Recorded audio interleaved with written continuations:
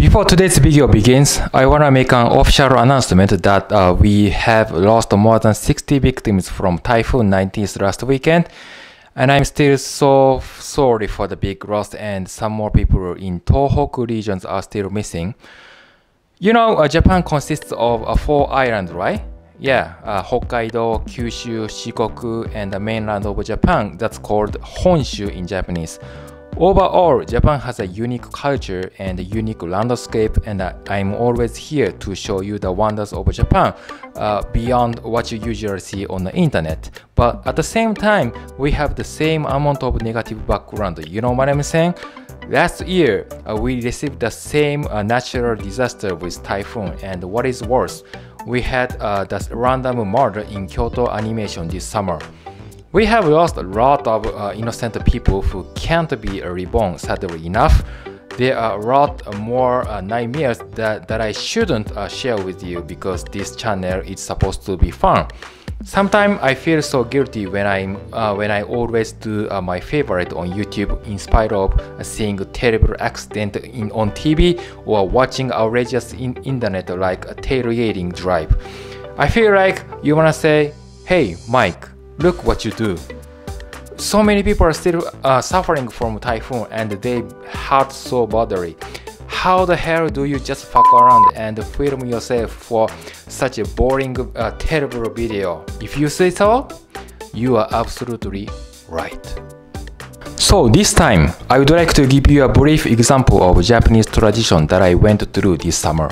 You know, like I said a few minutes ago, Last week, uh, we had a huge typhoon hitting Honshu uh, mainland of Japan. Geographically, uh, we tend to have contagious, uh, continuous uh, natural disasters throughout the year, such as tsunami, earthquake, typhoon, and flooding. We don't even know when, where, and what happens to us. In Reddit, I saw a terrible comment saying uh, Japan Japan survival of the uh, strongest typhoon of the decade, flooding uh, everywhere, but it's clean. Now, uh, no floating of garbage everywhere. That's bad joke.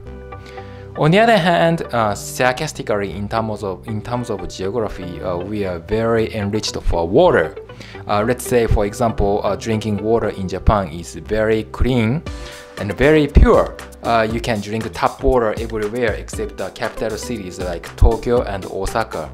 look at the Hokkaido case they have wonder um, they have wonderful natural resources. Uh, personally, uh, I visited there for sightseeing only once. Especially beer was so good, but I saw the news uh, that the uh, Chinese billionaire uh, bought the whole mountainous area in Hokkaido. Guess what happened? He exploited uh, the water vein uh, in the mountain and uh, imported the large amount of pure water back to China and they sell them out at the higher price. Because Japanese water has been over evaluated on the high uh, stage of global water standard level, so people in China trusted it with no questions, you know? Uh, on a cheap plastic bottle of water, they just put a package filled out uh, with Japanese kanji, Rubon. Then people trust it. Well, that's good things. That's good things for a Japanese brand uh, spread out uh, all over the world. That's absolutely alright. But the stupid idea here is that some of bad business people um, produced a fake Japanese brand. I mean, uh, they filtrate uh, dirty water and make it uh, taste fine. Uh, people from uh, mainland of China uh, don't really know how good pure water is because water not, tastes nothing.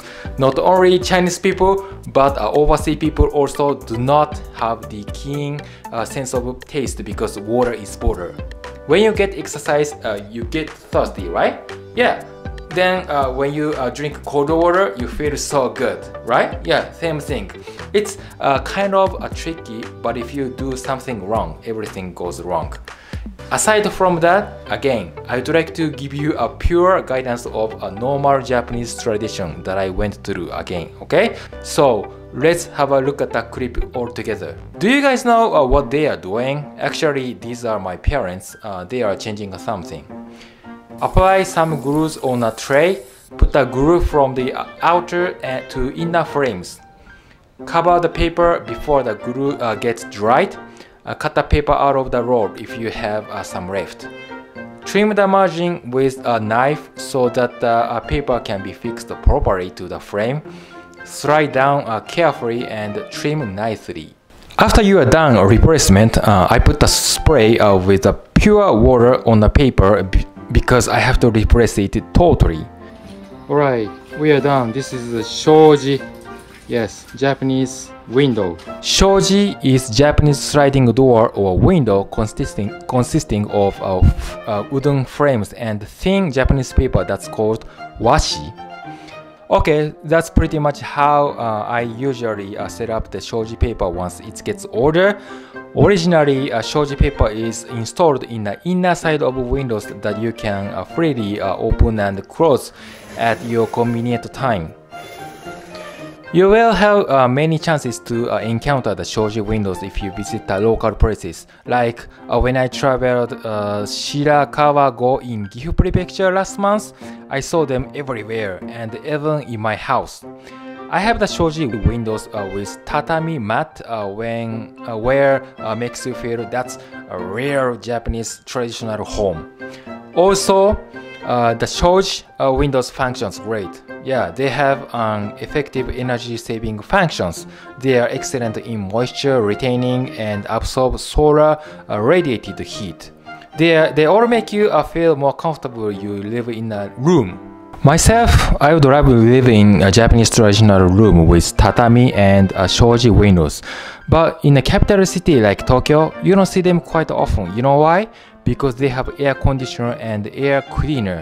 Nowadays, the shoji windows are totally getting old-fashioned. If you have your kids, they play prank. Yeah, they like they suck their fingers and uh, poke the hole, fall through. Uh, you don't want to clean and change the shoji windows again, do you? So the more convenient our life gets, the less Japanese tradition will be. So personally, like I said, I love Japanese tradition, but as time goes by, whew, they are just gone. I mean, historically, we have uh, invented so many convenient products to uh, make people's life better, but uh, as those Japanese innovative products have been globalizing in Asian countries, the shoji windows are absolutely becoming useless to catch up with the uh, competitive globalization. So I think the shoji windows are only uh, valued, I mean, they are only good for sightseeing uh, business in Japan. There are other same Japanese stuff uh, we no longer need. Let's say uh, one of the things uh, I can come up with right now is like, uh, like I said, tatami mat and a family uh, Buddhist order. Yeah, that's absolutely true. And uh, what else? Yeah, that's right. The traditional Japanese garment called wafuku or kimono. Yeah, they are so beautiful, but uh, normal Japanese people can't afford to buy a set of kimono because they are overpriced. They are only used for like special event uh, like wedding ceremony or funeral or more like uh, I introduced to you in a coming over age day before. Yeah, we just get it from a rental shop and for temporary use. We don't buy it uh, unless we have a big uh, room enough to keep them in a closet or we are rich. Speaking of uh, big projects like kimono, uh, there is uh, one thing uh, I have been overthinking about the risk factor of typhoon. I have a friend of mine who uh, owned a house purchased in a rural area at uh, 300k US dollar. If he had a same typhoon uh, flashing his house, everything is, is just gone, right? So I wonder what the heck uh, he was gonna do. Like this time, uh, let's suppose uh, you are a house owner. when the storm is on the top of you, what are you gonna do? You can't just escape from there, right? No, no, no, no, no, never. Yeah, you should probably uh, protect your property at any cost, and you don't try to protect your Japanese traditions even if you are a real Japanese. Something like that uh, happens in Japan. Yeah, people speak nicely like, oh, we shouldn't uh, ruin our uh, civilization or culture or traditions. We should uh, keep it up. Or, Jesus Christ, uh, God blesses you. If you say so, that's a piece of crap. No one helps you. Without the money, anything doesn't help you. That's my point today. what do you think? Uh, let me hear from you. I wanna hear your honest opinion, and you can freely uh, leave your comment uh, down below if you, if you if you want. I get you back with my reply as soon as I can. Okay, that's all for today.